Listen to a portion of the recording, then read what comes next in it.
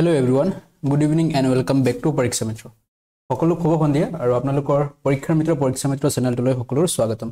যিসকল জইন কৰিছা সোনকালে এবাৰ শ্বেয়াৰ কৰা। তাৰপিছত আজিৰ ছেশ্যনটো ষ্টাৰ্ট হৈ আছে। আজি আকৌ আমি top fifty Indian history discuss কৰিম। চ' সোনকালে আপোনালোকে শ্বেয়াৰ কৰক আৰু যিসকলে লাইক কৰা নাই লাইক কৰি সোনকালে এটা শ্বেয়াৰ কৰি দিয়া। গুড ইভিনিং সকলোক।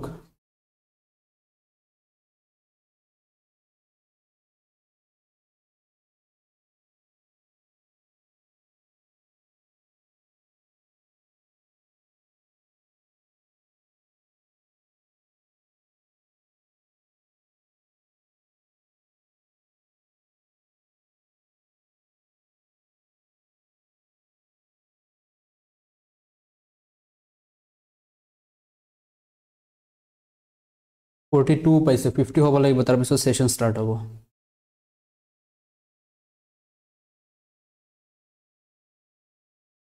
অল ছেট কোনে কোনে লাইক কৰা নাই এতিয়ালৈকে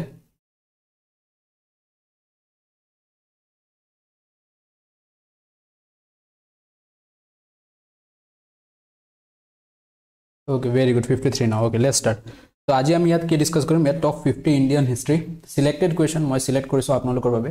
ইয়াৰ পৰা কুৱেশ্যন এক্সামত অহাৰ চান্স আছে। চ' সোনকালে আপোনালোকে লাইক আৰু শ্বেয়াৰ কৰক। তাৰপিছত আজিৰ ছেশ্যনটো ষ্টাৰ্ট হ'ব। আৰু এই কুৱেশ্যনকেইটা চিলেক্টেড হয় যিবোৰ অলৰেডি কুৱেশ্যনত চৰি এক্সামত আগতে সুধিছে। অ'কে চ' আজিৰ ফাৰ্ষ্ট কুৱেশ্যন আপোনালোকে যিসকলে ইয়াৰ এনচাৰটো জানে আপোনালোকে কৰিবলৈ চেষ্টা কৰিব। যিসকলে নাজানে মোৰ কাৰণে ৱেইট কৰিব মই তেতিয়া এনচাৰবোৰ কৈ দিম। ফাৰ্ষ্ট কুৱেশ্যন আজিৰ। Brahmo Samaj founded in eighteen twenty eight এইটো মষ্ট ৰিপিটেড কুৱেশ্যন হয়। এছ এছ চিৰ পৰা ষ্টাৰ্ট কৰি যিকোনো এক্সামত এই কুৱেশ্যনটো মেক্সিমাম টাইম ৰিপিট হৈছে। How can I avail the access apps or download Pariksha Mitra two point zero' তাৰপিছত এটা কোড আপুনি ইউজ কৰিব পাৰে R G fifty to get fifty rupees discount এয়া আজি লাষ্ট ৰাখিছোঁ আপোনালোকৰ ৰিকুৱেষ্ট অনুসৰি। আজিৰ পিছত এই ডিছকাউণ্ট কোডটো নোহোৱা হৈ যাব। So' correct answer is comment কৰি যাওক আপোনালোকে correct answer is Raja Rammohan Roy yes Raja Rammohan Roy is the correct answer যিজনে ব্ৰহ্ম সমাজ প্ৰতিষ্ঠা কৰিছিলে in the year eighteen twenty eight okay next okay in eighteen sixty six ওঠৰশ ছয়ষষ্ঠি চনত ব্ৰহ্ম সমাজ যিটো আছিলে এইটো আকৌ দুটা ভাগত বিভক্ত হয়। তাৰে এটা লিড কৰিছিলে কেশৱ চন্দ্ৰ সেন।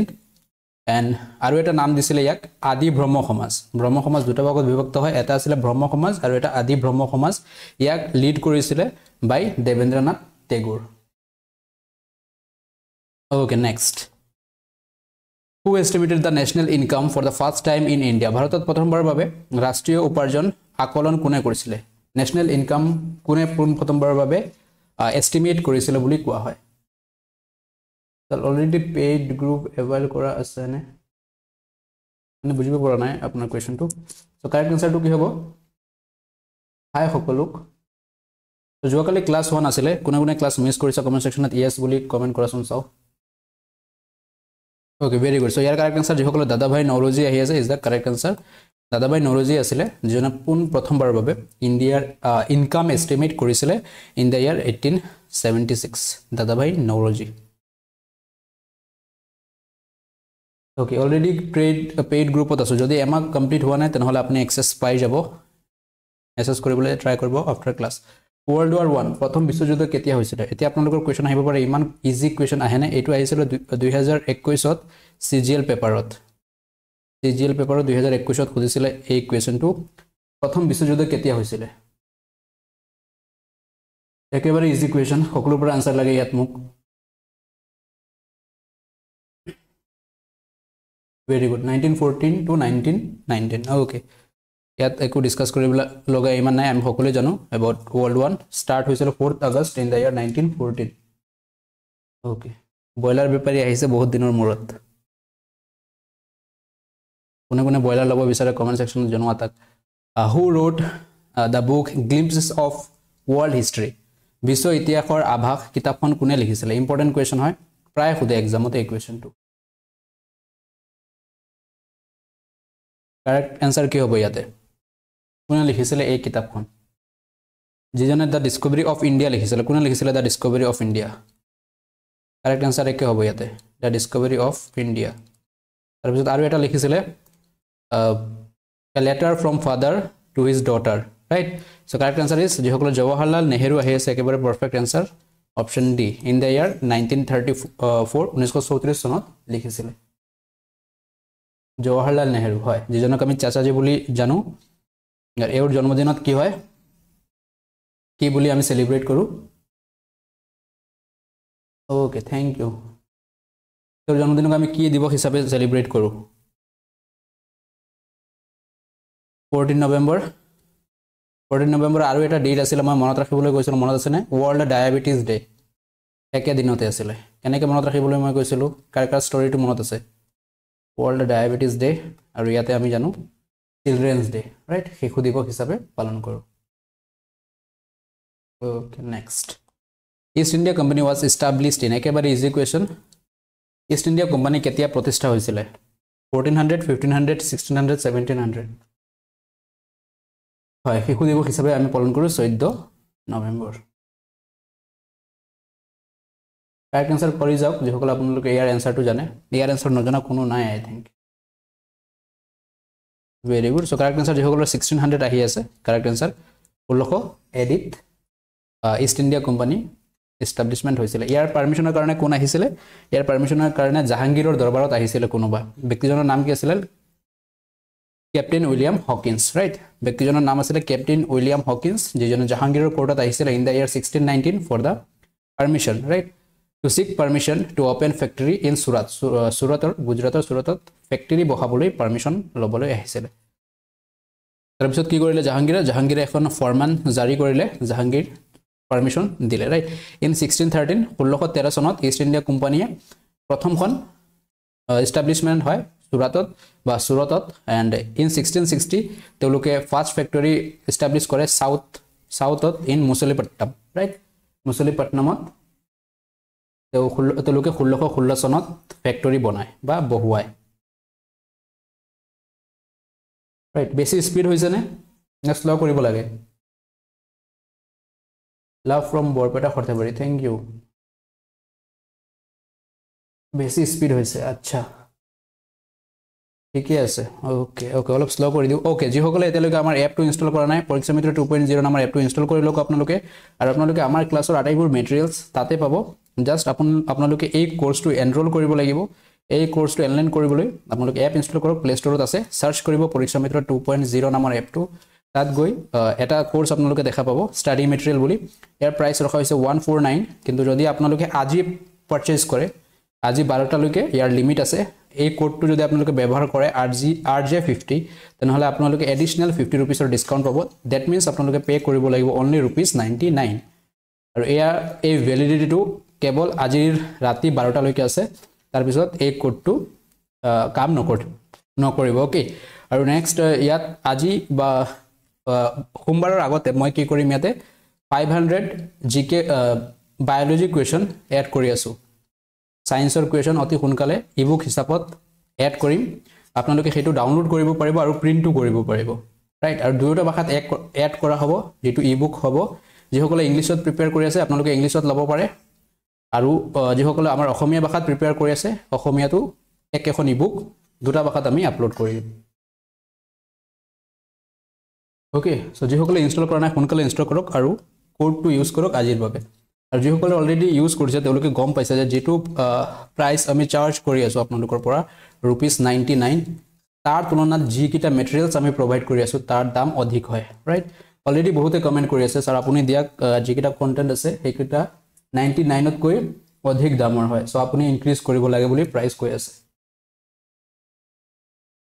Okay next who was the first governor general of Bengal বংগৰ প্ৰথম গভৰ্ণৰ জেনেৰেল কোন আছিল? অপশ্যনকেইটা চাই লওক। Lord William Bentinck Sir William Denison Lord হেপিয়াৰ Warren Hastings আৰু যদি কাৰোবাৰ কোনো প্ৰব্লেম হয় এপটো ইনষ্টল কৰোঁতে বা কোৰ্চকেইটা চাওঁতে তেনেহ'লে আপোনালোকে মোক কল কৰিব পাৰে এই নাম্বাৰত মই আপোনালোকক গাইড কৰি দিম কেনেকৈ ল'ব লাগে। আৰু অতি সোনকালে মই এটা ইয়াৰ ওপৰত ভিডিঅ' বনাই দিম। বহুতো প্ৰব্লেম হৈছে এক্সেছ কৰোঁতে বা অ'পেন কৰোঁতে। যিসকলে বুজি পাইছে তেওঁলোকেতো কৰিয়েই আছে। আৰু পে'মেণ্ট কৰিব লাগে তাৰ ওপৰত এটা মই ভিডিঅ' বনাই দিম। Very good so' correct answer আছে যিসকলৰ ৱাৰেন হেষ্টিং আহি আছে। ফাৰ্ষ্ট গভৰ্ণৰ জেনেৰেল আছিলে বেংগলৰ ৱাৰেন হেষ্টিংছ হয়।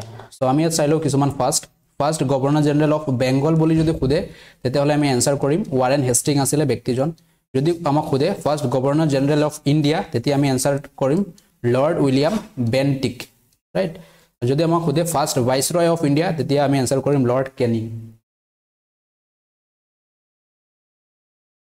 যিসকল পেইড হোৱা আছে আপোনালোকক এটা কোড দিয়া হ'ব। আপোনালোকে সেই কোডটো ইউজ কৰিলে আপোনালোকে এক্সেছ পাই যাব। মেছেজ কৰিব ক্লাছ শেষ হোৱাৰ পিছত আপোনালোকক কোডটো মই দি দিম। কিন্তু আপোনালোকৰ ভেলিডিটি থাকিব লাগিব। যিসকলৰ ভেলিডিটি এক মাহ সম্পূৰ্ণ হোৱা নাই তেওঁলোকে পাব অকল।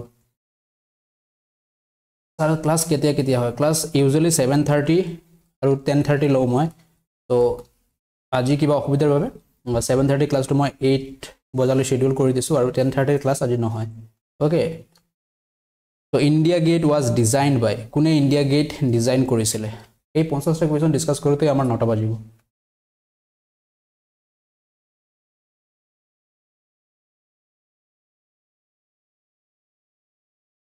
অ'কে ভেৰি গুড যিসকলৰ এনচাৰ এডউইন লুটিয়েন্স আছিলে সেই ব্যক্তিজনে ইণ্ডিয়া গেট ডিজাইন কৰিছিলে। যিসকলে আমাক লুটি নিছিলে আমি কেনেকৈ মনত ৰাখিব পাৰোঁ?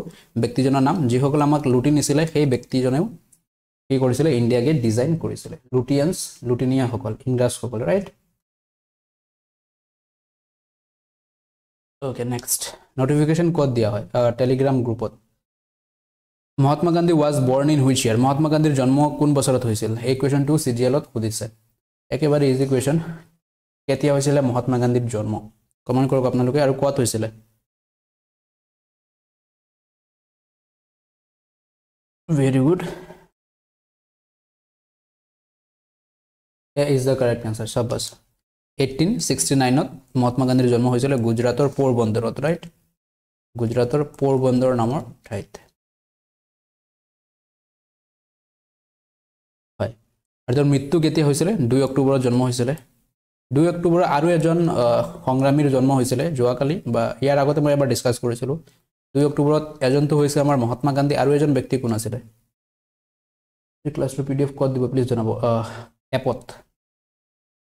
আটাইবোৰ পি ডি এফ এতিয়াৰ পৰা এপতে পাব আপোনালোকে।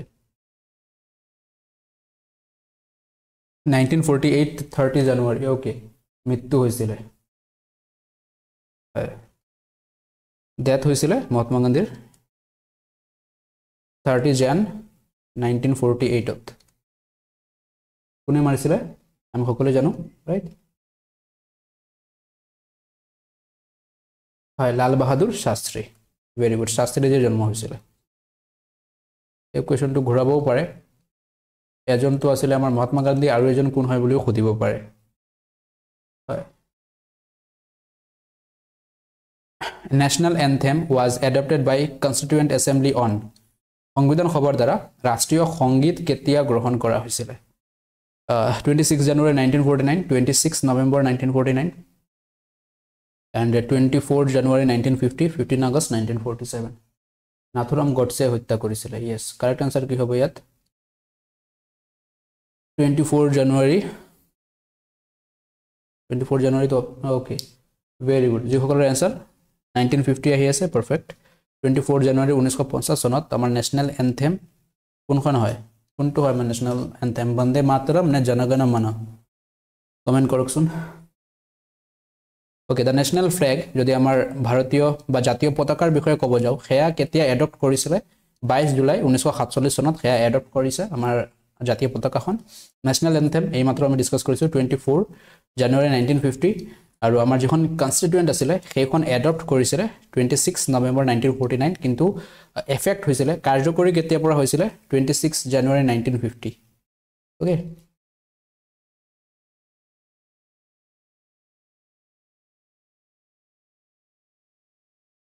okay next which is the first Hindi newspaper of India ভাৰতৰ প্ৰথম হিন্দী বাতৰি কাকতখন কাকত কোনখন? উড়ান আজাদ বিচাৰ উদন্ত মাৰ্টন বিচাৰ ব্যক্তি। কাৰেক্ট এনচাৰটো কি হ'ব? Good evening Ishan Sutradhar. আজি কোন কোন নিউ জইন হৈছে কমেণ্ট ছেকশ্যনত নিউ বুলি কমেণ্ট কৰাচোন। প্ৰথমবাৰৰ বাবে লাইভত কোন কোন আহিছা?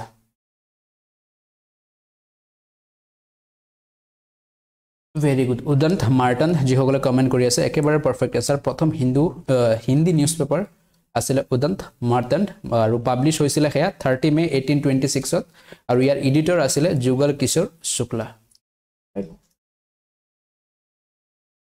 হয় হয়। মই গম পাইছোঁ কোন নিউ হয় কোন নিউ নহয়। নাম মাতি দিম কাৰণে পুৰণিকেইটাও নিউ নিউ কমেণ্ট কৰি আছে। Okay next which is the first newspaper of India ভাৰতৰ প্ৰথম বাতৰি কাকত কোনখন? এতিয়া সুধিছে প্ৰথম কোনখন? আগত সুধিছিলে হিন্দী কোনখন? এতিয়া এনচাৰ কাৰেক্ট এনচাৰটো কি হ'ব?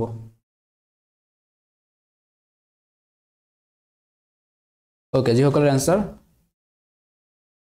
কমেণ্ট কৰক এনচাৰবোৰ Bengal Gazette very good Bengal Gazette নামৰ বাতৰি কাকতখন আছিলে প্ৰথম বাতৰি কাকত আৰু এয়া কোনে? ইয়াৰ এডিটৰ আছিলে। এডিটৰ কোন আছিলে ইয়াৰ? আৰু আমাৰ প্ৰথম অসমীয়া বাতৰি কাকত কোনখন? First Assamese news paper first Assamese news paper কোনখন? এছামিজ নিউজ পেপাৰ অসমীয়া বাতৰি কাকত কোনখন?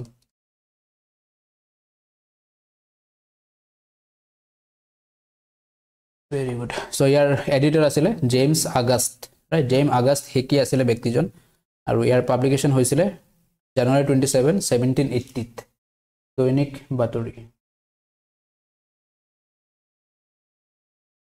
অৰুণোদয় উইকলি আছিলে দ্য বেটেল অফ প্লাছী পলাশীৰ যুদ্ধ কেতিয়া হৈছিলে? ইম্পৰ্টেণ্ট কুৱেশ্যন কাৰণ এই পলাশী যুদ্ধৰ পিছৰ পৰাই আমাৰ ভাৰতবৰ্ষত ইংৰাজৰ শাসন ষ্টাৰ্ট হয় বুলি কোৱা হয়। বা আমি জানো ৰাইট কেতিয়া হৈছিলে পলাশীৰ যুদ্ধ কাৰ কাৰ মাজত হৈছিলে? পলাশীৰ যুদ্ধ কাৰ কাৰ মাজত হৈছিলে? ছেভেণ্টিন ফিফটি ছেভেন যিসকলৰ কমেণ্ট আহি আছে একেবাৰে কাৰেক্ট আনচাৰ আৰু ইয়াৰ যুদ্ধ হৈছিলে চিৰাজুদ্দোল্লা আছিলে নবাব চিৰাজুদ্দোল্লা আৰু ইষ্ট ইণ্ডিয়া কোম্পানী বা ইংৰাজৰ পৰা আছিলে Lord okay very good so' যিসকলে okay Siraj Clive Robert Clive আৰু চিৰাজুদ্দোল্লা চিৰাজুদ্দোল্লা আছিলে নবাব বেংগলৰ নবাব আছিলে আৰু ইষ্ট ইণ্ডিয়া কোম্পানীক লিড কৰিছিলে সৈন্যসকলক ৰবাৰ্ট ক্লাইভ নামৰ ব্যক্তিজনে আৰু পলাশীৰ যুদ্ধ হৈছিলে তেইছ June seventeen fifty seven speed বেছি হৈছে আচ্ছা। চ' এতিয়া আমাৰ ৰিভিজনৰ সময় ৰাইট এতিয়া আমি স্পীডত ক'বই লাগিব বা আপোনালোকে স্পীডত এনচাৰ কৰিব পাৰিব লাগিব এতিয়া। প্ৰিপেয়াৰ বহুত আগৰ দিনৰ পৰাই আগৰ পৰাই কৰি আছোঁ আমি ৰাইট যিসকলে আমাৰ প্লে'লিষ্টকেইটা চেক কৰা নাই আপোনালোকে প্লে'লিষ্টকেইটা চেক কৰক। লুচেম জি কে প্লে'লিষ্ট আছে তাত আমি অলৰেডি বহুত শ্ল'কৈ তাত ডিছকাছ কৰিছোঁ পইণ্ট টু পইণ্ট ডিছকাছ কৰা হৈছে। কাৰেক্ট এনচাৰ ইয়াত কি নেক্সট কুৱেশ্যনত কি হ'ব? হুইচ ফ্ৰীডম ফাইটাৰ মোৰ from Bengal died at the age of eighteen ওঠৰ বছৰ বয়সত বংগৰ কোনজন স্বাধীনতা সংগ্ৰামীৰ মৃত্যু হৈছিলে? কাৰেক্ট এনচাৰ কি হ'ব ইয়াতে? এতিয়ালৈকে বহুতে লাইক কৰা নাই। মাত্ৰ মই এঘাৰটা লাইক দেখিব পাইছোঁ ভিউৱাৰ্ছ নাইণ্টি ফ'ৰ কিয়? লাইক কৰিবৰ কাৰণে আকৌ ক'ব লাগিব নেকি বাৰ বাৰ correct answer is Khudiram Bose right Khudiram Basu তেওঁৰ ওঠৰ বছৰ বয়সৰ তেওঁৰ মৃত্যু হয় বা ফাঁচি দিয়া হৈছিলে। Khudiram Bose was hanged to death কেতিয়া দিয়া হৈছিলে? এঘাৰ আগষ্ট ঊনৈছশ আঠ চনত। সেই সময়ত তেওঁৰ বয়স কিমান আছে জানেনে আপোনালোকে? সেই সময়ত তেওঁৰ বয়স আছিলে এইটিন ইয়াৰ্ছ ওঠৰ বছৰ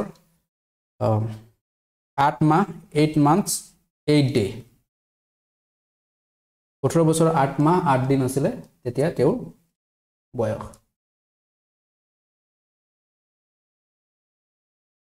Okay next Gandhiji started non cooperation movement in অসহযোগ আন্দোলন কেতিয়া আৰম্ভ কৰিছিলে মহাত্মা গান্ধীয়ে? একেবাৰে ইজি কুৱেশ্যন আৰু এই অসহযোগ আন্দোলন মহাত্মা গান্ধীৰ ফাৰ্ষ্ট মাছ বেজ মানে এই যিটো আন্দোলন হৈছিলে তাত মহাত্মা গান্ধীৰ লগত বহুত মানুহ জইন হৈছিলে একগোট হৈছিলে। মাছ বেজ বুলি আহিলেও একে এনচাৰ হ'ব আমাৰ। ত' কাৰেক্ট এনচাৰ ইজ ঊনৈছশ বিছ চনত প্ৰথম অসহযোগ আন্দোলন নন কঅপাৰেশ্যন মুভমেণ্ট ষ্টাৰ্ট হয়। In sixteen seventeen the British East India company was given permission by dash to trade in India অলপ আগতে যিটো আমি ডিছকাছ কৰিছিলোঁ ষোল্লশ ষোল্লশ সোতৰ চনত ইষ্ট ইণ্ডিয়া কোম্পানীক কোনে পাৰ্মিশ্যন দিছিলে? ব্যৱসায় কৰাৰ বাবে। ব্যক্তিজন কোন আছিলে?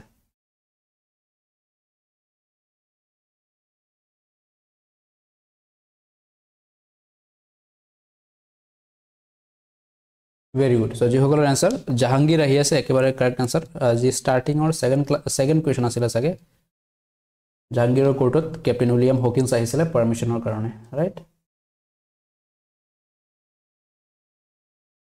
অৰ্চনা শৰ্মা আজি ফাৰ্ষ্ট অ'কে ছাবস্ক্ৰাইব কৰি লোৱা যদি এতিয়ালৈকে ছাবস্ক্ৰাইব কৰা নাই the decision of partition of Bengal was announced in nineteen zero' five by Banga বিভাজন ঊনৈছশ পাঁচ চনত কোনে এনাউন্স কৰিছিলে বা কাৰ দিনত এনাউন্স হৈছিলে বংগ বিভাজন। বেংগলক দুটা ভাগত ভাগ কৰা হৈছিলে। Eastern Bengal and western Bengal right eastern আৰু ৱেষ্টাৰ্ণত। কাৰেক্ট এনচাৰ কি হ'ব? ব্যক্তিজন কোন আছিলে? আৰু পাৰ্টিশ্যন অফ বেংগল কেতিয়া কেঞ্চেল কৰা হৈছিলে আকৌ? পাৰ্টিশ্যন অফ বেংগল কেঞ্চেল কেতিয়া কৰা হৈছিলে? এই কুৱেশ্যনটো আহিব পাৰে। আমি সকলোৱে জানো এতিয়া আৰু নুসুধে পাৰ্টিশ্যন অফ বেংগল কেতিয়া হৈছিলে? ঊনৈছশ পাঁচ আমি সকলোৱে জানো কেঞ্চেল কেতিয়া হৈছিলে? Nineteen eleven very good Delhi দৰবাৰৰ সময়ত বংগ বিভাজন স্থগিত কৰা হৈছিলে বা কেঞ্চেল কৰা হৈছিলে। Very good so' correct answer is Lord Curzon আছিলে সেই সময়ত। So' Lord Curzon divided Bengal into two parts western Bengal and eastern Bengal on October sixteen nineteen zero' five হয় next in which year did Kakori conspiracy case took place কোন বছৰত কাকৰি ষড়যন্ত্ৰৰ গোচৰ সংঘটিত হৈছিলে? Nineteen twenty five twenty four twenty six twenty seven Kakori ষড়যন্ত্ৰ কেতিয়া হৈছিলে? কাকৰি ষড়যন্ত্ৰ কি আছিলে? ডিছকাছ কৰিছিলোঁ মই ৰাইট কাকৰি ষড়যন্ত্ৰ কি আছিলে? What was Kakori conspiracy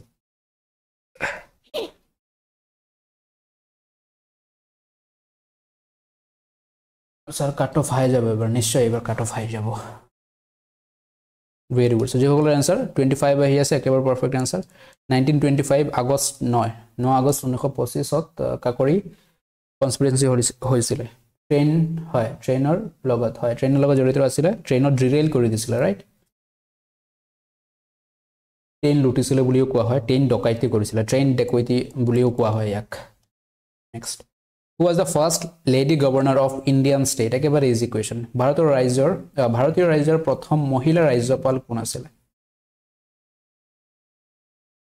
একেবাৰে ইজি কুৱেশ্যন সকলোৱে কমেণ্ট কমেণ্ট কৰক ইয়াৰ এনচাৰ আৰু কোনখন ৰাজ্যৰ আছিলে? ৰাজ্যখনৰো নাম কমেণ্ট কৰিব আপোনালোকে।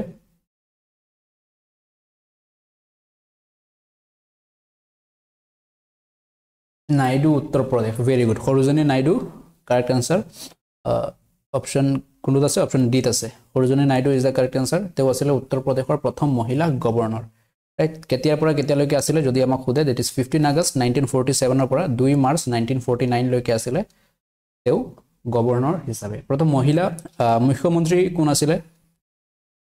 মহিলা মুখ্যমন্ত্ৰী female chief minister first female C M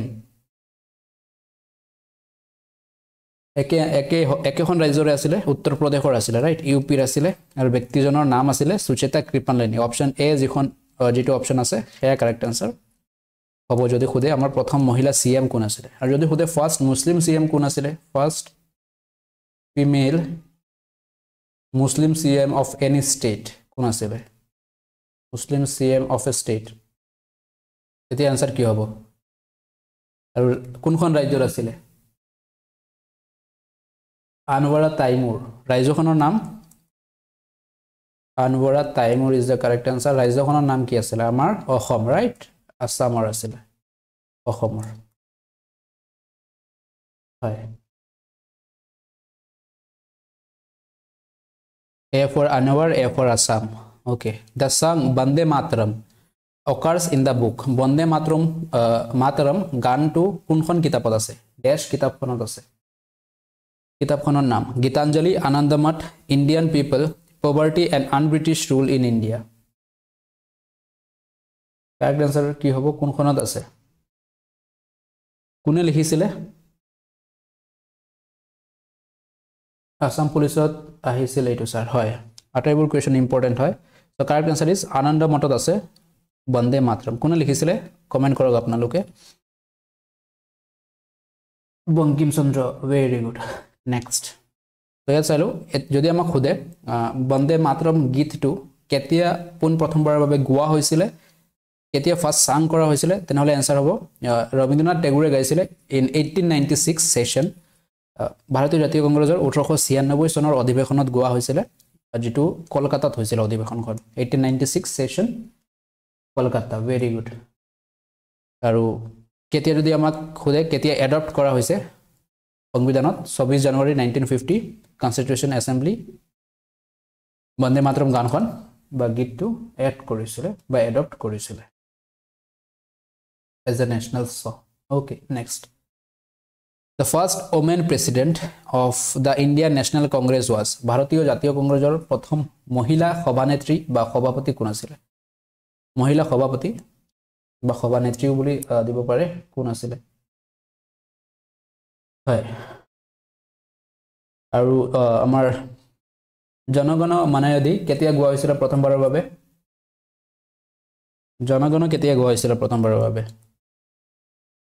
জনগণ মান প্ৰথমবাৰৰ বাবে কেতিয়া গোৱা হৈছিলে? আৰু এইখনটো গীতাঞ্জলিত আছে আমি সকলোৱে জানো। নাইনটিন ইলেভেনত ভেৰি গুড ঊনৈছশ এঘাৰ চনত গোৱা হৈছিলে দিল্লী দৰবাৰত। ইয়াৰ কাৰেক্ট এনচাৰ কি হ'ব কুৱেশ্যন নম্বৰ টুৱেণ্টিৰ এনচাৰ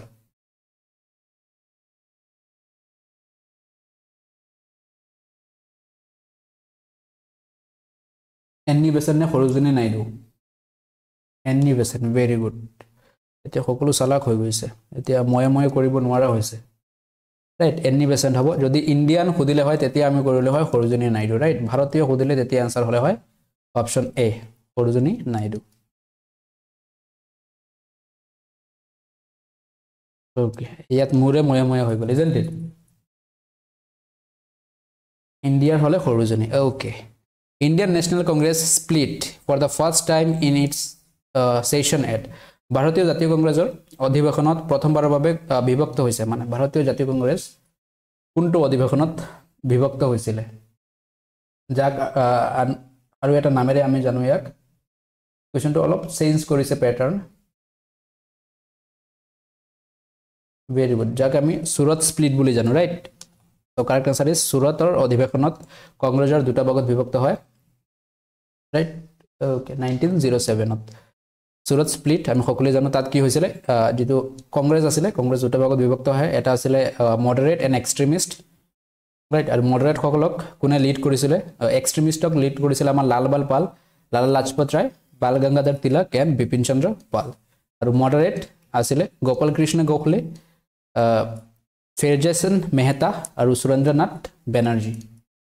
নৰম নৰম নৰম দল আৰু গৰম দল বা নৰমপন্থী চৰমপন্থী বুলিও কোৱা হয়। চৰমপন্থী নৰমপন্থী yes okay next question number twenty two which of the following institution was not founded by Mahatma Gandhi নিম্নলিখিত কোনটো প্ৰতিষ্ঠান মহাত্মা গান্ধীয়ে মহাত্মা গান্ধীয়ে প্ৰতিষ্ঠা কৰা নাছিলে। চাৰিটা অপশ্যন দিছে ইয়াৰ ভিতৰত কোনটো মহাত্মা গান্ধীয়ে প্ৰতিষ্ঠা কৰা নাই? Sabarmati Ashram Sevagram Ashram Visva-Bharati Phoenix Ashram. Correct answer কি হ'ব? কোনখন মহাত্মা গান্ধীয়ে প্ৰতিষ্ঠা কৰা নাই? কমেণ্ট কৰি যাওক ইয়াৰ কাৰেক্ট এনচাৰটো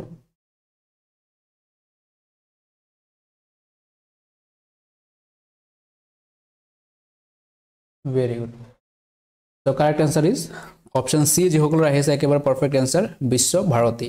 এইখন কোনে প্ৰতিষ্ঠা কৰিছিলে? ৰবীন্দ্ৰনাথ টেগুৰ। ৰবীন্দ্ৰনাথ টেগুৰ বা ৰবীন্দ্ৰনাথ ঠাকুৰ। হয় ৰবীন্দ্ৰনাথ ঠাকুৰে প্ৰতিষ্ঠা কৰিছিলে বিশ্বভাৰতী নেক্সট কুৱেশ্যনলৈ যাওঁ আমি। English education was introduced in India by ভাৰতত ইংৰাজী শিক্ষা কোনে প্ৰৱৰ্তন কৰিছিলে? বা কাক ভাৰতত ইংৰাজী শিক্ষাৰ জনক বুলিও জনা যায়। কাৰেক্ট এনচাৰটো কি হ'ব? কাক ভাৰতত ইংৰাজী শিক্ষা প্ৰৱৰ্তন কৰা জনক বা পিতৃ বুলিও কোৱা হয়? Lord Macaulay okay very good so' correct answer is Macaulay option B আৰু মেকুলেৰ সম্পূৰ্ণ নাম কি আছিলে? Thomas Babington Macaulay. Thomas Babington Macaulay ইয়াৰ সম্পূৰ্ণ নামটো। Next twenty four who was the founder of Arya Samaj Arya সমাজৰ প্ৰতিষ্ঠাপক কোন আছিলে? এই কুৱেশ্যনটো মই বহুত বাৰ কৰাইছোঁ। আচাৰ্য নৰেন্দ্ৰ দেৱ দয়ানন্দ সৰস্বতী ৰাজা ৰামমোহন ৰয় আচাৰ্য বিনোবা ভাৱে কোন আছিলে ব্যক্তিজন? যিজনে আৰ্য সমাজৰ প্ৰতিষ্ঠা কৰিছিল আৰু কেতিয়া কৰিছিলে? কমেণ্ট কৰকচোন আপোনালোকে। এনচাৰটো আহিয়ে গ'ল। অপশ্যন বি ৰাইট দয়ানন্দ সৰস্বতীয়ে প্ৰতিষ্ঠা কৰিছিলে Arya Samaj in the year eighteen hundred seventy five সোতৰশ পঁয়সত্তৰত.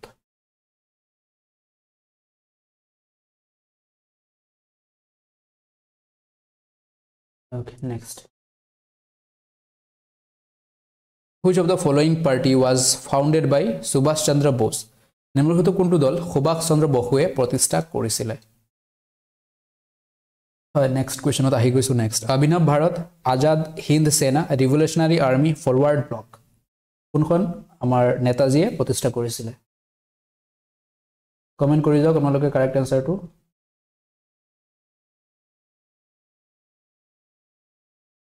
very good so' correct answer is Forward Bloc Forward Bloc নেতাজীয়ে প্ৰতিষ্ঠা কৰিছিলে।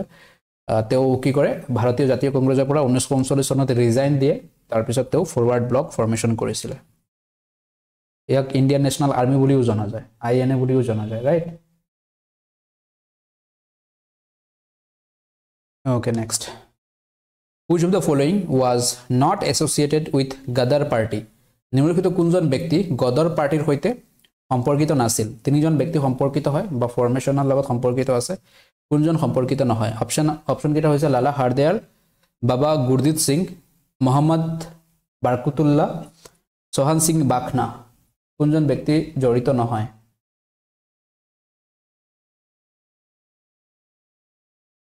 Reshmi Gogoi hello' very good comment কৰি যাওক correct answer at the end of the class আপোনালোকে comment কৰিব কাৰ কিমানটা correct হৈছে। শুদ্ধ কেইটা হৈছে। আৰু চিটিং নকৰিব হা।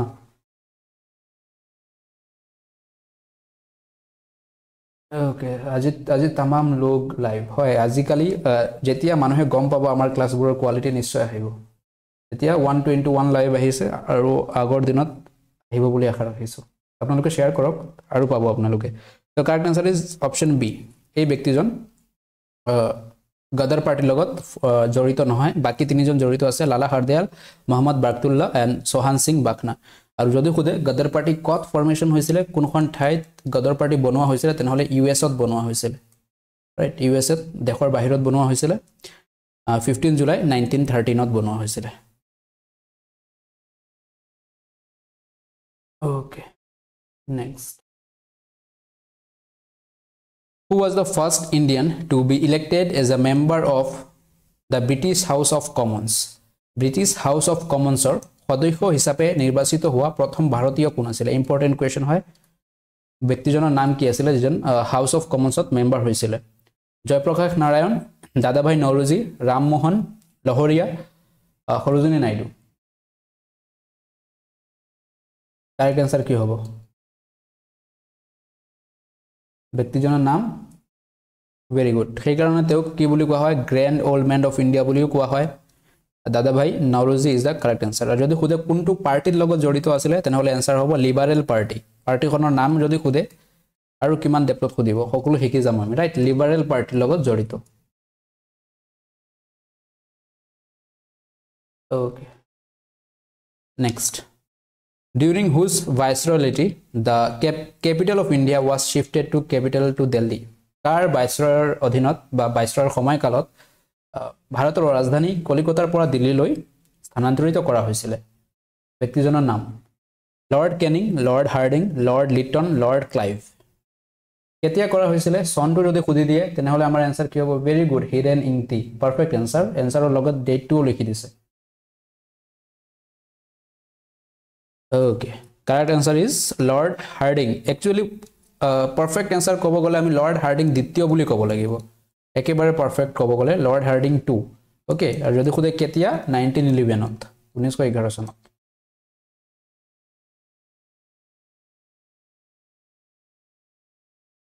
Okay next the working committee of National Congress sanction the resolution named Quit India Bharat ত্যাগ যিটো প্ৰস্তাৱ আছিলে কোনটো অধিৱেশনত কংগ্ৰেছে আৰম্ভ কৰিছিলে বা প্ৰস্তাৱ দিছিলে? ভাৰত ত্যাগ নামৰ প্ৰস্তাৱটো কোনটো সভাত দিয়া হৈছিলে বা ক'ত হৈছিলে সভাখন? ৱাৰ্ধা নাগপুৰ মুম্বাই দিল্লী। কাৰেক্ট এনচাৰটো কমেণ্ট কৰিবলৈ চেষ্টা কৰক আপোনালোকে।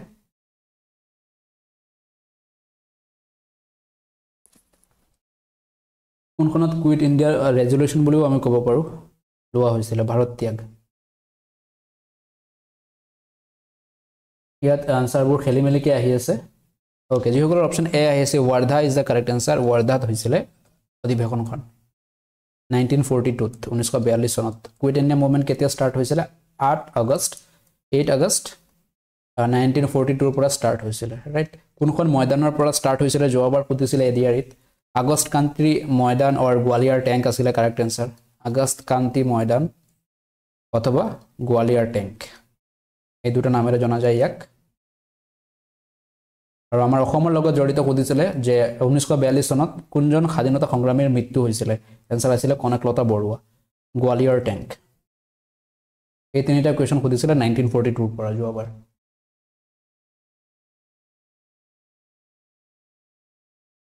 Okay, next. Question number 30. Which of the following act introduced separate electorates বা কমিউনেল ৰিপ্ৰেজেণ্টেশ্যন বুলি কোৱা হয় ফৰ মুছলিমছ নিম্নলিখিত কোন আইনে মুছলমানসকলৰ বাবে পৃথক নিৰ্বাচক মণ্ডলী বা সাম্প্ৰদায়িক প্ৰতিনিধিত্ব প্ৰৱৰ্তন কৰিছিলে? মানে কি ক'ব খুজিছে ইয়াত? কোনখন এক্টৰ অধীনত এনেকৈ কৰা হৈছিলে যে হিন্দুসকলে হিন্দু তেওঁলোকৰ প্ৰতিনিধি যিজন হ'ব তেওঁক ভোট কৰিব লাগিব আৰু মুছলিমসকলে বা আমাৰ মুছলমানসকলে যিজন মুছলমান প্ৰতিনিধি হ'ব তেওঁক ভোট কৰিব। বা হিন্দু মেজৰিটিৰ ঠাইৰ পৰা অকল হিন্দুজনে প্ৰতিনিধি হ'ব পাৰিব আৰু মুছলমান য'ত বেছি আছে তাৰ পৰা অকল মুছলমান হ'ব পাৰিব। তেনেকৈ কিবা এটা আছিলে। কোনটো এক্ট আছিলে?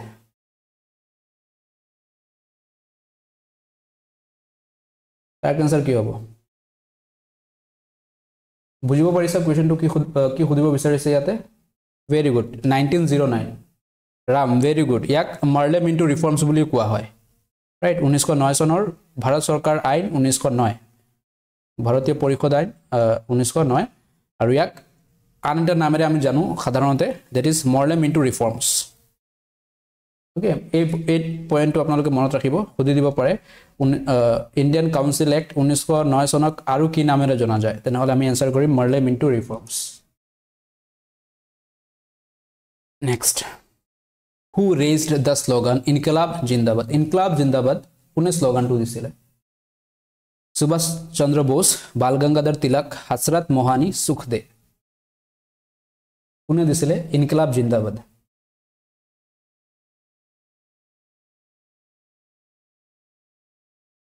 আৰু কাৰ মুখত এই শ্লোগানটো ফেমাছ হৈছিলে? Very good Hasrat Mohani. Hasrat sorry ইয়াত ট্ৰেঞ্চলেশ্যনটো ভালকৈ হোৱা নাই। Hasrat Mohani is the correct answer option C আৰু যদি সোধে কাৰ মুখত যেতিয়া আমি ইন কমন লেংগুৱেজ যদি ক'ব যাওঁ ভাইৰেল হৈছিলে বুলি কোৱা হয় তেতিয়া এনচাৰ হ'ব ভগত সিং। ফেমাছ হৈছিলে বা ভাইৰেল হৈছিলে। ফেমাছ হৈছিলে ভগত সিঙৰ যেতিয়া কৈছিলে তেওঁ ব্যৱহাৰ কৰিছিলে তাৰ পৰা ভাইৰেল হৈছিলে। ফেমাছ হৈছিলে। Bhagat Singh yes next who was the founder of the Indian Reforms Association nineteen eighteen seventy ওঠৰশ সোতৰ চনত ইণ্ডিয়ান ৰিফৰ্ম এছ'চিয়েশ্যনৰ প্ৰতিষ্ঠাপক কোন আছিলে? এইটিন ছেভেণ্টিত কোনে কৰিছিলে? দেৱেন্দ্ৰনাথ ঠাকুৰ বা টেগুৰ কেশৱ চন্দ্ৰ সেন বা কেশৱ চন্দ্ৰ সেন ৰামমোহন ৰয় দয়ানন্দ সৰস্বতী। কাৰেক্ট আনচাৰ কি হ'ব ইয়াতে? Very good so' correct answer is যিসকলৰ অপশ্যন বি আহিছে Keshav Chandra Sen is the correct answer তেওঁ প্ৰতিষ্ঠা কৰিছিলে Indian Reforms Association eighteen seventy. Okay next during the period of which governor general or viceroy was Indian Civil Service introduced কাৰ সময়ছোৱাত ভাৰতীয় অসামৰিক সেৱা প্ৰৱৰ্তন কৰা হৈছিল সেই সময়ছোৱাত? অসামৰিক সেৱা মানে যিবিলাক আমাৰ আই এছ সেইবিলাক I S I P S বা ইউ পি এছ চি বুলি ক'ব পাৰোঁ কমন ভাষাত। U P S C A P S C তেনে পোষ্টবোৰ কোনে প্ৰৱৰ্তন কৰিছিলে? বা ইয়াক চিভিল ছাৰ্ভিচৰ জনক বুলিও কোৱা হয় ভাৰতবৰ্ষত। কৰ্ণৱালিছ আছিলে ব্যক্তিজন অপশ্যন ডি। কৰ্ণৱালিছে প্ৰৱৰ্তন কৰিছিলে। Okay first I C S কোন আছিলে? প্ৰথম আই চি এছ কোন আছিলে? ফাৰ্ষ্ট এই কুৱেশ্যনটো যোৱাবাৰ গ্ৰেড ফ'ৰত সুধিছিলে। ফাৰ্ষ্ট আই চি এছ কোন আছিলে? ভাৰতৰ। Father of civil services yes first I C S of India অসমৰ নহয় ইণ্ডিয়া বুলি সুধিছিলে। সত্যেন্দ্ৰনাথ টেগোৰ ভেৰি গুড সত্যেন্দ্ৰনাথ ঠাকুৰ বা টেগোৰ ইংলিছত ক'ব গ'লে Satyendranath Tagore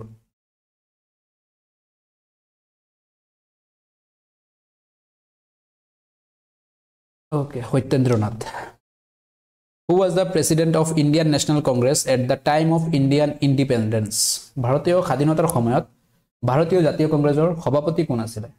যেতিয়া ইণ্ডিপেণ্ডেঞ্চ হৈছিলে তেতিয়া জাতীয় কংগ্ৰেছৰ সভাপতি কোন আছিল? Maulana Abul Kalam Azad J B Kripalani Jawaharlal Nehru Rajendra Prasad. ব্যক্তিজন কোন আছিল? এই কুৱেশ্যনটো ইম্পৰ্টেণ্ট হয়। তো ইয়াৰ কাৰেক্ট এনচাৰ হ'ব অপশ্যন নহয় জৱাহৰলাল নেহেৰু নহয় ইয়াৰ কাৰেক্ট এনচাৰ জে বি আছিলে জে বি কৃপালিনী আছিলে সেই সময়ত আই এন চিৰ ইণ্ডিয়ান নেশ্যনেল কংগ্ৰেছৰ প্ৰেচিডেণ্ট। অ'কে মৌলানা আব্দুল কালাম আজাদ কোন আছিলে? তো ফাৰ্ষ্ট ফাৰ্ষ্ট এডুকেশ্যন মিনিষ্টাৰ আছিলে। First education minister of India after independence তাৰপিছত জৱাহৰলাল নেহেৰু আমি জানো পি এম এণ্ড প্ৰেচিডেণ্ট আছিলে আমাৰ ৰাষ্ট্ৰপতি আছিলে ৰাজেন্দ্ৰ প্ৰসাদ। প্ৰেচিডেণ্ট এণ্ড এয়া আছিলে P M.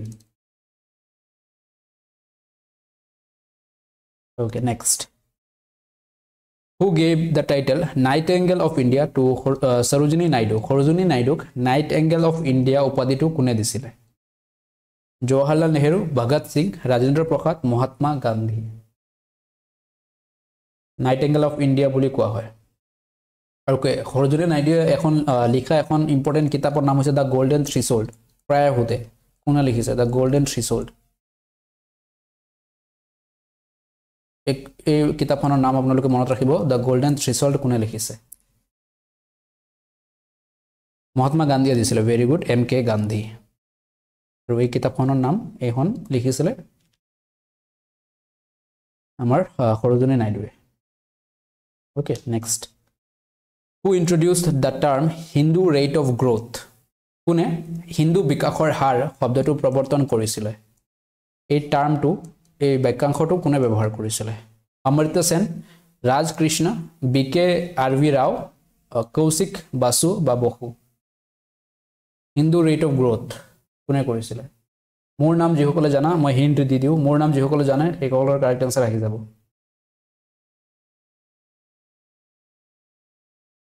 Hindu rate of growth মোৰ নাম যিসকলে জানা এনচাৰ কাৰেক্ট হ'ব ইয়াতে হিণ্ট দিয়াৰ পিছত সকলোৰে কাৰেক্ট এনচাৰ আহি আছে ৰাজ কৃষ্ণ ৰাইট ৰাজ কৃষ্ণ ব্যক্তিজন আছিলে অমৃত সেনে তো কোনটো বিষয়ত নবেল পাইছিলে অমৃত সেন অমৃত সেনে কোনটো বিষয়ত তেওঁক নবেল দিয়া হৈছিলে in the year nineteen ninety eight ঊনৈছশ আঠান্নব্বৈ চনত দিয়া হৈছিলে কেনেকৈ মনত ৰাখিব পাৰিছোঁ মই চনটো কাৰণ সেই বছৰত মোৰ জন্ম হৈছিলে। চ' আপোনালোকে এনেকৈ ৰিলেট কৰি মনত ৰাখিব পাৰে। ইকনমিক্সত ইকনমিক্সত অৰ্থনীতিত দিয়া হৈছিলে। য়েছ নেক্সট লিটাৰেচাৰ নহয়। The first Europeans to came to India were ভাৰতলৈ অহা প্ৰথম ইউৰোপীয় কোন আছিলে? ইউৰোপীয়সকল কোন আছিলে? British Dutch French Portuguese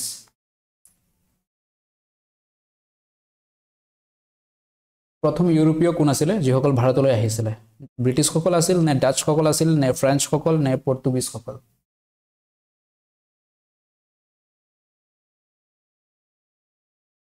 Correct answer is Portuguese. Portuguese is the correct answer. Portuguese আছিলে প্ৰথম অহা তেওঁলোক ফ'ৰটিন নাইণ্টি এইট এডিত আহিছিলে। Right fourteen eighty eight AD Vasco da Gama আমি সকলোৱে জানো নাম। ভাস্কো ডাগামা আৰু পৰ্তুগীজসকল গৈছিলোঁ মানে ভাৰত এৰিছিলে আটাইতকৈ লাষ্টত। আটাইতকৈ শেষত যদি কোনে এৰিছে খোজে তেনেহ'লে এনচাৰ আমাৰ একে হ'ব পৰ্তুগীজ। লাষ্টত সিহঁত গোৱাত আছিলে। ৰাইট গোৱাত আছিলে লাষ্টত সিহঁত। লাষ্ট অলছ' হয় লাষ্টত গৈছিলে সিহঁত। In the year nineteen sixty one from Goa right Okay, next question are Akbar, question number 38. British uh, achieved political power in India after which which of the following? British সকলে বা ব্ৰিটিছে ভাৰতত ৰাজনৈতিক ক্ষমতা অৰ্জন কৰিছিল নিম্নলিখিত কোনটোৰ পিছত? কোনটো অপশ্যন দিছে ইয়াত চাৰিটা অপশ্যনৰ পিছত? কোনটোৰ গঠনৰ পিছত তেওঁলোকে ভাৰতত ৰাজনৈতিক পাৱাৰ পাইছিলে? পলাশীৰ যুদ্ধৰ পিছত। অ'কে বেটেল অফ প্লাছী কেতিয়া হৈছিলে? আজিয়ে ডিছকাছ কৰিছোঁ কমেণ্ট কৰক আপোনালোকে। কাৰ কাৰ মাজত হৈছিলে? Comment your answer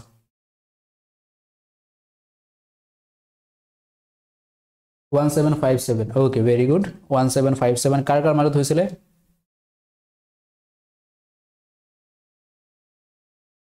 হয় বেটেল অফ পলাশী হ'ব ইয়াৰ correct answer battle of Plassey it's fourteen fifteen seven নহয়? Seventeen fifty seven Robert Clive আৰু Sirajuddaulah very good next mutiny of eighteen fifty seven was described as the first Indian war of independence by ওঠৰশ সাতাৱন্ন চনৰ বিদ্ৰোহক প্ৰথম ভাৰতীয় স্বাধীনতা যুদ্ধ বুলি বৰ্ণনা কৰা হৈছিল। কোনে কৈছিলে? যিখন ওঠৰশ সাতাৱন্ন চনৰ বিদ্ৰোহ হৈছিলে তাক ফাৰ্ষ্ট ৱাৰ অফ ইণ্ডিপেণ্ডেঞ্চ বুলি কোনে কৈছিলে? Bal Gangadhar Tilak Subhash Chandra Bose Bhagat Singh B B Savarkar B D Savarkar. Mangal Pandey right Mangal Pandey ব্যক্তিজন তেতিয়া তেওঁ শ্বহীদ হৈছিলে। Is option D very good B D Savarkar B D Savarkar is the correct answer তেওঁ কৈছিলে ওঠৰশ সাতাৱন্ন চনৰ ভিডিঅ'টো ফাৰ্ষ্ট ৱাৰ অফ ইণ্ডিপেণ্ডেঞ্চ এই কুৱেশ্যনটো যোৱাবাৰ আহিছিলে। Direct ditto question A to মানে এ টু জেড কপি কৰি বহাই দিছে তাতে। ৰাইট এ ডি আৰ সুধিছিলে ডু অৰ ডাই শ্লোগানটো কোনটো সংগ্ৰামৰ লগত জড়িত হৈ আছে? Do or die is associated with which of the following movements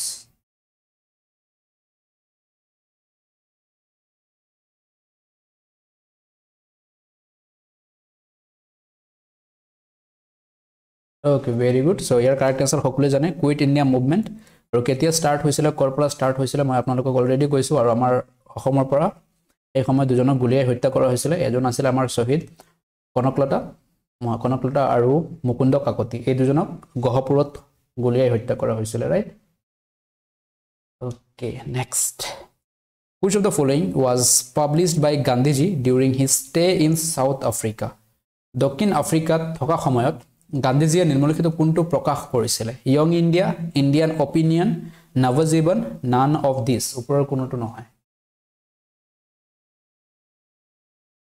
correct answer কি হ'ব ইয়াতে? যেতিয়া মহাত্মা গান্ধী ছাউথ আফ্ৰিকাত আছিলে।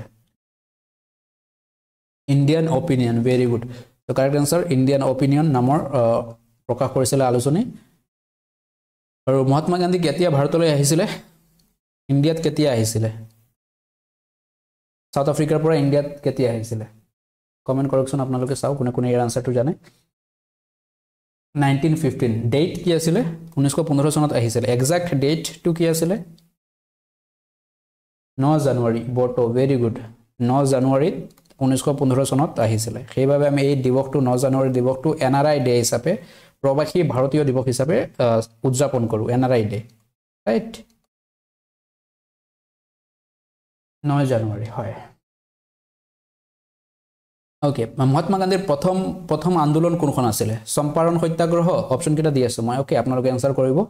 চম্পাৰণ দুই নম্বৰ নন কৰ্পৰেশ্যন অসহযোগ কোনখন প্ৰথম আছিলে? তিনি নম্বৰ আছে আমাৰ কুইট ইণ্ডিয়া ভাৰত ত্যাগ। চাৰি নম্বৰত খেদা খেদা সত্যাগ্ৰহ কোনটো প্ৰথম আছিলে? প্ৰথম সত্যাগ প্ৰথম movement first movement by Mahatma Gandhi Champaran very good চম্পাৰণৰ satyagraha first আছিলে ইন দ্য ইয়াৰ নাইনটিন ছেভেণ্টিনত অপশ্যন এ কাৰেক্ট হ'ব। Champaran next who is referred as the frontier Gandhi এই কুৱেশ্যনটো বহুবাৰ ৰিপিট হৈছে বহু এক্সামত ৰিপিট হৈছে এছ এছ চিৰ পৰা ষ্টাৰ্ট কৰি আমাৰ অসমৰ এক্সামসমূহতো দেখিব পোৱা গৈছে। আগৰ পেপাৰবোৰত যদি আপোনালোকে চাই দেখিব পাব এই কুৱেশ্যনটো হিমান্ত গান্ধী বা ফ্ৰণ্টিয়াৰ গান্ধী বুলি গান্ধী বুলি কাক কোৱা হয়? আৰু আঠটামান কুৱেশ্যন আছে তাৰপিছত আজিৰ ক্লাছটো সমাপ্ত হ'ব। যিসকলে চাই আছে ক্লাছটো সম্পূৰ্ণকৈ চোৱা। আপোনালোকে নিশ্চয় কিবা এটা নতুন বস্তু শিকিব পাৰিব বা আপোনালোকৰ যিসকলৰ অলৰেডি প্ৰিপেৰেশ্যন হৈছে আপোনালোকৰ ৰিভিজন হৈ যাব। ক্লাছবোৰ স্কিপ নকৰিব আপোনালোকে। Correct answer is Khan Abdul Ghaffar Khan এওঁক সীমান্ত গান্ধী বা ফ্ৰণ্টিয়াৰ গান্ধী বুলি কোৱা হয়। এই কোনখন দেশৰ হয়? বৰ্তমান কোনখন দেশৰ হয়?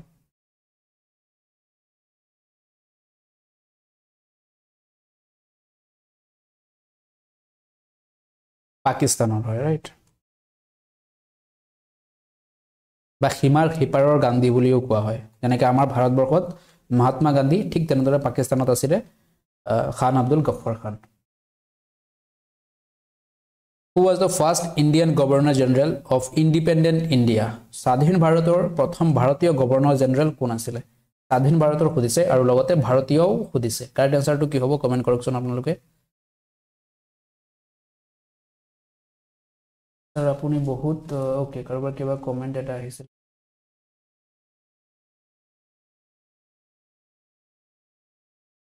আপুনি বহুত thank you correct answer is Mountbatten যিসকলৰ আহি আছে একেবাৰে ৰং হ'ব ইয়াত মাউণ্ট বেটেন কাৰেক্ট নহ'ব ইয়াত চি ৰাজগোপালচাৰী চি ৰাজগোপালচাৰী চক্ৰৱৰ্তী ৰাজগোপালচাৰী তেওঁৰ সম্পূৰ্ণ নাম ৰাইট অপশ্যন চি ইয়াক ভাৰতীয় বুলি সুধিছে এই টাৰ্মটো বা এই ৱৰ্ডটো আমি চাব লাগিব কুৱেশ্যনত কি সুধিছে ভাৰতীয় বুলি সুধিছে ভাৰতীয় হ'লে চি ৰাজগোপালচাৰী যদি চিম্পল সুধিলে হয় তেনেহ'লে আমাৰ এনচাৰ হ'লে হ'লে হয় Lord Mountbatten right Chakravarti Rajagopalachari is the correct answer next Gandhiji's first satyagraha in India was held at এই মাত্ৰ মই সোধা কুৱেশ্যনটো ইয়াতে পাইছোঁ আকৌ আমি। ভাৰতীয়ত ভাৰতত গান্ধীজীৰ প্ৰথম সত্যাগ্ৰহ দেশত অনুষ্ঠিত হৈছিলে। ক'ত হৈছিলে? ইয়াত সকলোৰে এনচাৰ লাগে মোক। এশ নজনে চাই আছে এশ নটা এনচাৰ পাব লাগিব মই কমেণ্ট ছেকশ্যনত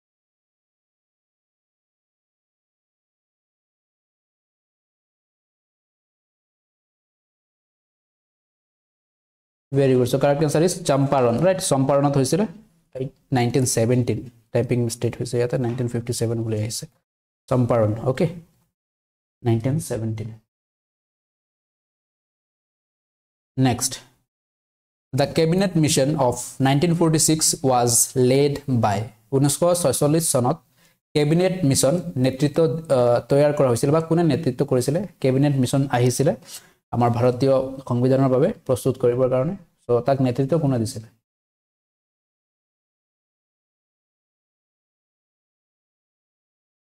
চম্পাৰণ টাইপ কৰোঁতে চকলেট আহিছে। হয় আজি কিবা দে বুলি হয় সেইকাৰণেও আহিব পাৰে। বেছিকৈ টাইপ কৰা হ'ল নেকি আজি কমেণ্ট ছেকশ্যনত মানে মেছেজ কৰোঁতে যদি আপোনালোকে বেছিকৈ ইউজ কৰে সেই ৱৰ্ডটো সেই ৱৰ্ডটো আহি যায় ৰেকমেণ্ডেশ্যনত ৰাইট চ' আজি কোনোবাই ইউজ কৰিছে চাগে আহি আছে সেইকাৰণে। So' correct answer is Pethick আছিলে ব্যক্তিজন তাৰ Pethick Lawrence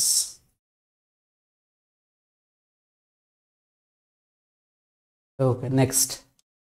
The chairman of drafting committee of the Constituent Assembly of India was ভাৰতীয় সংবিধান সভাৰ খচৰা সমিতিৰ অধ্যক্ষ কোন আছিলে কনষ্টিটিউণ্ট এছেম্বলিৰ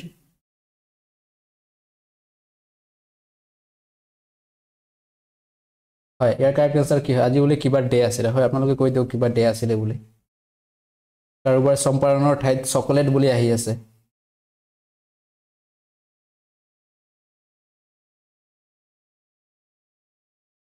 The correct answer is B.R. Ambedkar asile. Okay, next. 47. The first Muslim to be elected as president of Indian National Congress was ভাৰতীয় জাতীয় কংগ্ৰেছৰ প্ৰথম মুছলমান সভাপতি কোন আছিলে? মৌলানা আজাদ মহম্মদ আলী বদৰুদ্দিন তাইয়বজী শ্বাহৱালী উল্লাহ এই কুৱেশ্যনটো আগতে এবাৰ মই কৰাইছোঁ। লাষ্ট যেতিয়া টপ ফিফটি কৰাইছোঁ সেই কুৱেশ্যন সেই ক্লাছতো আছিলে। একজেক্ট কুৱেশ্যন ৰিপিট হৈ গ'ল ইয়াতে।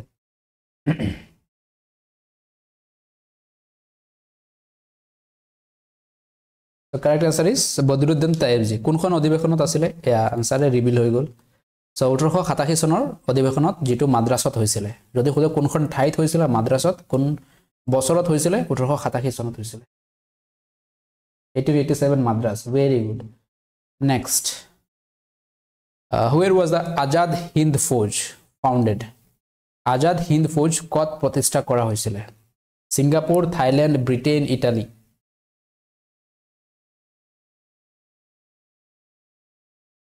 correct এনচাৰটো কি হ'ব কমেণ্ট কৰিবলৈ চেষ্টা কৰক আজাদ হিন্দ ফৌজ কোনে প্ৰতিষ্ঠা কৰিছিলে Singapore is the correct answer very good Singapore যিসকলৰ আহিছে ফাৰ্ষ্ট অক্টোবৰ নাইনটিন ফৰ্টি থ্ৰীত ইয়াৰ এষ্টাব্লিছমেণ্ট হৈছিলে কোনে ইয়াৰ এষ্টাব্লিছমেণ্ট কৰিছিলে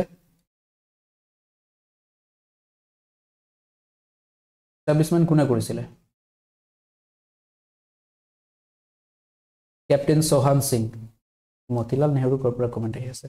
কেপ্টেইন চৌহান সিং আছিলে ৰাইট কেপ্টেইন চৌহান সিং তাৰপিছত কি হয় ৰাজবিহাৰী বোস বা ৰাজবিহাৰী বসুৱে সুভাষ সুভাষ চন্দ্ৰ বসুক আমাৰ নেতাজীক মাতি নিয়ে। তাৰপিছত ইয়াৰ নেতৃত্ব নেতাজীৰ হাতত দিয়া হয়।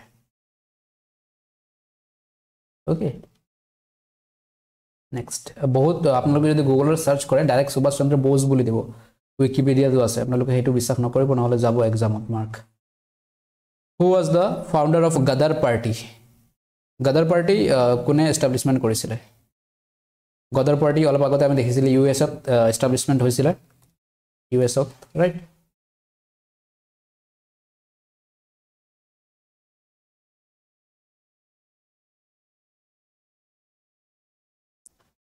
very good so' Sohan Singh বাখনা is the correct answer okay next এই কুৱেশ্যনটো যোৱাবাৰ আছিলে যোৱাবাৰ নহয় লাষ্ট ক্লাছত আছিলে এইটো আপোনালোকৰ কাৰণে হোমৱৰ্ক কুৱেশ্যন আপোনালোকে কমেণ্ট কৰিব ইয়াৰ এনচাৰ মই লোৱাও নাই সেইকাৰণে আপোনালোকে কমেণ্ট কৰক যিসকলে লাইভ চাই আছে আৰু যিসকলে ৰেকৰ্ডেড চাব আপোনালোকে কমেণ্ট কৰিবলৈ চেষ্টা কৰিব in the comment section offline যিসকলে চাই আছে যিসকলে এতিয়ালৈকে ভিডিঅ'টো চাই আছে আপোনালোকে লাইক কৰি দিয়ক। এশ নজনে চাই আছে এশ নটা লাইক মই ইয়াত দেখিব পাব লাগে। এতিয়া এশ এশ পোন্ধৰটা হৈ আছে ভিউৱাৰ্ছ এশ পোন্ধৰটা লাইক আহি যাব লাগে। চ' ক্লাছটো কেনেকুৱা লাগিছে আপোনালোকে কমেণ্ট ছেকশ্যনত জনাওক। আমি পঞ্চাছটা কুৱেশ্যন ডিছকাছ কৰিছোঁ এক ঘণ্টাৰ ভিতৰতে। লগতে এডিশ্যনেল পইণ্টবোৰো ডিছকাছ কৰা হৈছে। যিসকলে চেনেলটো এতিয়ালৈকে ছাবস্ক্ৰাইব কৰা নাই ছাবস্ক্ৰাইব কৰি লওক। আৰু যিসকলে আমাৰ এপটো এতিয়ালৈকে ইনষ্টল কৰা নাই আপোনালোকে এপটো ইনষ্টল কৰক পৰীক্ষা মিটাৰ টু পইণ্ট জিৰ' তাত কৰ্চটো মই অলৰেডি এবাৰ কৈছোঁ তাতে আপোনালোকে কেনেকৈ পাব।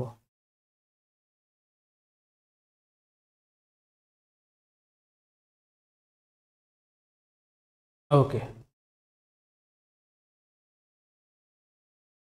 অ'কে ধন্যবাদ সকলো। যিসকলে এতিয়ালৈকে লাইক কৰা নাই লাইক কৰি দিয়ক আৰু শ্বেয়াৰ কৰি দিব যোৱাৰ আগতে। আৰু যিসকলে এতিয়ালৈকে চেনেলটো ছাবস্ক্ৰাইব কৰা নাই ছাবস্ক্ৰাইব কৰি দিয়ক। ধন্যবাদ সকলোক। শুভৰাত্ৰি।